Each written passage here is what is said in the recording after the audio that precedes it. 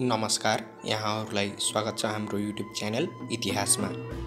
यहाँ हामी इतिहासका थुप्रै घटनाहरूको बारेमा चर्चा परिचर्चा गर्दै आएका छौँ। र आजको हाम्रो भिडियो रहेको छ नेपाल अङ्ग्रेज युद्धको बारेमा। नेपाल अङ्ग्रेज युद्ध सन् अठार सय चौधदेखि सन् अठार सय सोह्रसम्म चलेको थियो। यस युद्ध पश्चात नेपालले लगभग एक तिहाई भूमि गुमाउनु परेको थियो। राजा गिरवान युद्ध विक्रम शाहको राज्य अभिषेक सन् सत्र सय सन्तानब्बेमा भए तापनि उनले पूर्ण रूपमा सत्ता चलाउन सुरु गरेको भने सन् अठार सय छमा आफ्नो पिता रणबहादुर शाहको हत्यापछि थियो। गिरवान युद्ध विक्रम शाह सानै उमेरको भएकाले भीमसेन थापाले नै देश चलाउने काम गरेका थिए। भीमसेन थापाले रणबहादुर शाहको हत्याको पछाडिका दोषीहरू पत्ता लगाउनको लागि एउटा सोधपुछ समिति पनि गठन गरेका थिए। भीमसेन थापाले पाल्पाका राजा पृथ्वीपाल सेन विदुर शाही नरसिंह गुरुङ काजी त्रिभुवन खवास र जगत पाण्डेलाई संदिग्ध पाएर उनीहरूलाई फाँसी पनि दिएका थिए। भीमसेन थापाले आफ्ना पिता अमरसिंह थापाको नेतृत्वमा एउटा सेनालाई सन् अठार सय छमा पाल्पामाथि कब्जा गर्न पठाए। यसरी चौबिस राज्यमा बचेको पाल्पा राज्य पनि नेपालमा गाभिन पुग्यो। त्यसपछि उनले बुटोल र शिवराजमाथि पनि कब्जा गरे। नेपालले बुटोल र शिवराजमाथि कब्जा गरेको ब्रिटिसहरूले विरोध गरे र उनीहरूले नेपाल विरुद्ध युद्धको तयारी गर्न सुरु गरे। अठारौँ शताब्दीको अन्त्यसम्ममा ब्रिटिसहरूले भारतमा राम्रैसँग कब्जा जमाइसकेका थिए। लगभग सबैजसो भारतीय रियासतहरू ब्रिटिस इस्ट इन्डिया कम्पनीको अधीनमा भइसकेका थिए। उनीहरू अब नेपालभित्र प्रवेश गर्न चाहन्थे।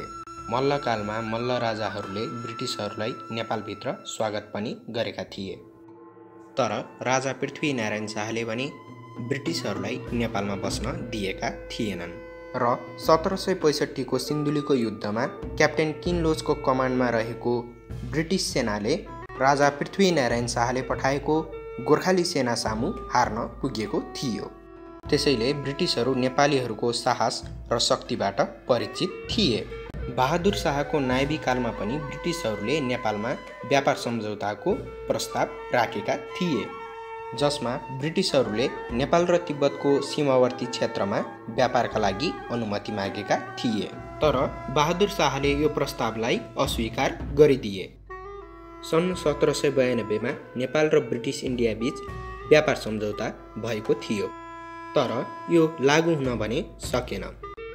पछि सन् अठार सय एकमा जति बेला रणबहादुर शाह बनारसमा थिए त्यति बेला दामदर पाँडेले ब्रिटिसहरूसँग एउटा व्यापार सम्झौता पनि गरेका थिए। तर यो सम्झौता ब्रिटिसहरूको पक्षमा भने थिएन। ब्रिटिस इस्ट इन्डिया कम्पनीले जहिल्यै नेपालसँग मैत्रीपूर्ण सम्बन्ध राख्न खोजिरहेको थियो। इस्ट इन्डिया कम्पनीको मुख्य उद्देश्य तिब्बतमा व्यापार फैलाउनु थियो। तिब्बत प्रवेश गर्ने बाटो नेपाल भएर मात्र थियो र नेपालले ब्रिटिसलाई कहिले पनि आफ्नो क्षेत्रबाट तिब्बतमा व्यापार गर्न जान दिनेवाला थिएन। यसका साथै तिब्बतमा ब्रिटिसलाई व्यापार गर्न जान दिनुको मतलब नेपालले आफ्नो व्यापारलाई डामाडोल पार्नु थियो। यस्तो अवस्थामा ब्रिटिसहरूले नेपाललाई युद्धको धम्की दिने बारे सोचे। ब्रिटिसहरूको नेपालप्रति आक्रोशित हुनुको अर्को मुख्य कारण भने उनीहरू दार्जिलिङ सिक्किम देहरादुन गढवाल र सिमला जस्ता क्षेत्रहरूमा आफ्नो निवास बनाउन चाहन्थे। त्यति बेलाको समयमा यी क्षेत्रहरू नेपालको अधीनमा थिए। यद्यपि ब्रिटिसहरूले तत्कालै नेपालमा आक्रमण गर्नुको मुख्य कारण भने बुटोल र सिउराज जस्ता क्षेत्रहरू नेपालको अधीनस्थ हुनु थियो। शिवराज र बुटोलको मामलालाई समाधान गर्नको लागि नेपाल र ब्रिटिस बिच मिटिङ पनि बसालिएको हुन्छ।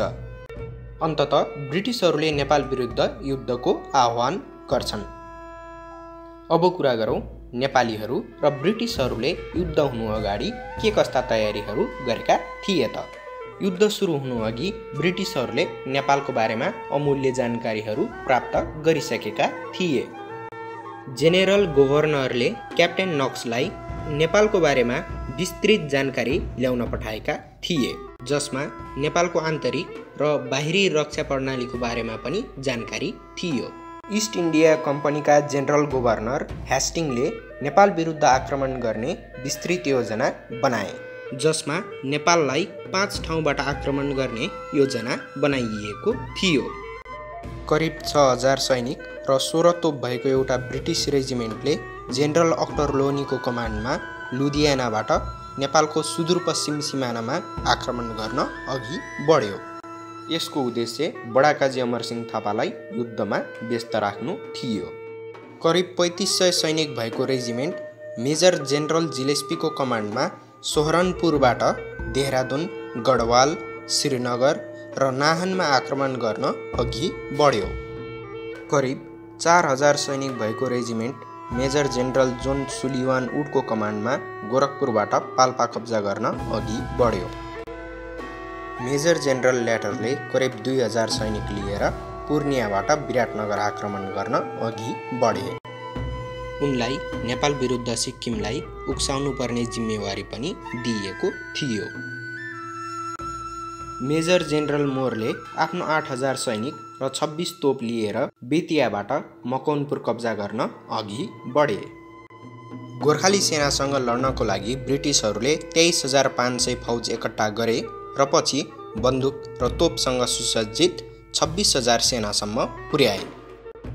ब्रिटिस फौजलाई पाँच भागमा बाँडिएको थियो। नेपाल अङ्ग्रेज युद्धमा अक्टोरलोनी मात्र युद्ध लड्न सक्षम हुन सके। जिलेस्पी नालापानीको युद्धमा मारिए। उडको बदनाम मात्र भयो र मुरले भगाइए। पूर्वतर्फ त युद्ध नै भएन। ह्यास्टिङले अवधको नवाबबाट दुई लाख पचास हजार रुपियाँ सहयोग लिए। नेपाल अङ्ग्रेज युद्धमा नेपाल सरकारले बडाकाजी अमरसिंह थापा र बलभद्र कुँवरको नेतृत्वमा बाह्र हजार सेना पठाएको थियो। राजा गिरवाण युद्ध विक्रम शाहको कालमा नै ब्रिटिसहरूले नेपालको तराईमा कब्जा जमाउने सोच बनाएका थिए। त्यसैले ब्रिटिस गभर्नर ह्यास्टिङले नेपाल सरकारलाई पच्चिस दिनमै बुटोल लगायत बाइस गाउँ छाडेर जान भने। त्यसपछि भीमसेन थापाले युद्धको बाटो नै अपनाउने विचार गरे। उनलाई थाहा थियो कि ब्रिटिसहरू शिवराज र बुटोलमा कुनै पनि हालतमा कब्जा गर्न चाहन्थे। योजना अनुरूप ह्यास्टिङले बेङ्गाल सेनालाई एकीकृत गरेर बुटोल लगायत पच्चिस गाउँमा आक्रमण गर्न आदेश दिए। केही दिन पश्चात पाल्पाका गभर्नरले आदेश पाए र उनीहरूले ब्रिटिस आर्मीमाथि आक्रमण गरिदिए। अठारजना ब्रिटिस सैनिक मारिए र बाँकी युद्ध क्षेत्र छाडेर भागे। त्यसपछि ह्यास्टिङले एक नोभेम्बर अठार सय चौधमा नेपाल विरुद्ध युद्धको आह्वान गरे। अन्तत नेपाल अङ्ग्रेज युद्धको मुख्य कारण भने बुटोल र शिवराज क्षेत्रको झगडालाई मान्न सकिन्छ। यो त थियो आजको हाम्रो भिडियो नेपाल अङ्ग्रेज युद्धको पृष्ठभूमि र यसको कारणहरू। नेपाल र अङ्ग्रेज बिच युद्ध कुन कुन ठाउँमा लडिएको थियो त? कुन ठाउँमा नेपालीहरूको विजय भयो र कुन ठाउँमा अङ्ग्रेजहरूको विजय भयो?